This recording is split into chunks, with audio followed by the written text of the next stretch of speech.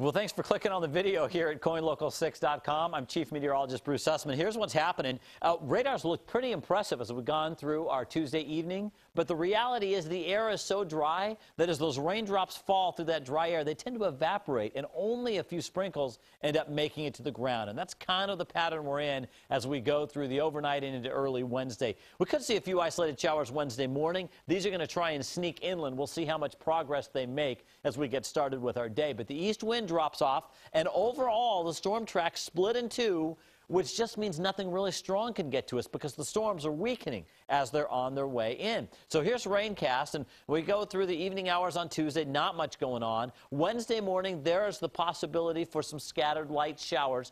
They really don't amount to much, though, or last very long either. Maybe a sprinkle as we go through the day on Thursday, and then skies clear for a while as we go through the second half of Thursday. That should be a mild day. Then as we get into Friday morning, it looks like we could get a quick shot of some very light rain before you guessed it, we go back to dry weather again. So overall, nothing too exciting. And it's amazing because well, this very week, in 1996, we were experiencing our 100 year flood in Portland, the Willamette River reaching its highest point since 1894 after all of the flooding and the rain on top of the snow and ice. Now, central and eastern Oregon, you start the day Wednesday below freezing. West of the mountains with all the clouds, it's going to be much warmer than that, around 40 most places. Highs in the 50s along the coast, some possible showers and some sun breaks in the works. For the Willamette Valley, I think it's the same thing. We'll see an isolated shower or two and some sprinkles, and then we'll also see some partly sunny skies at times. Central and eastern Oregon, we've had these patches of freezing fog that have been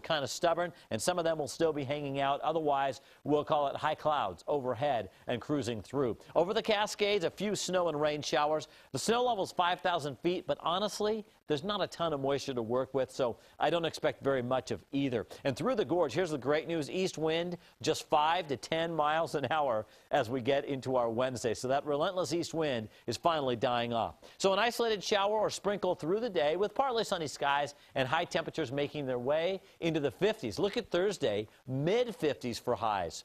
And uh, that's about it. Have a great week from all of us right here on the Pinpoint Weather Team.